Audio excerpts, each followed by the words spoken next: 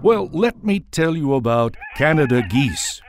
Canada geese are a really large and easily recognized member of the duck family. Their young, called goslings, are pale yellow. Boy, are they cute! These migratory birds frequent river channels and lakes. Our young Canada geese are growing fat now, feeding on the rich grasslands beside the river. Some Canada geese live in the parks year round.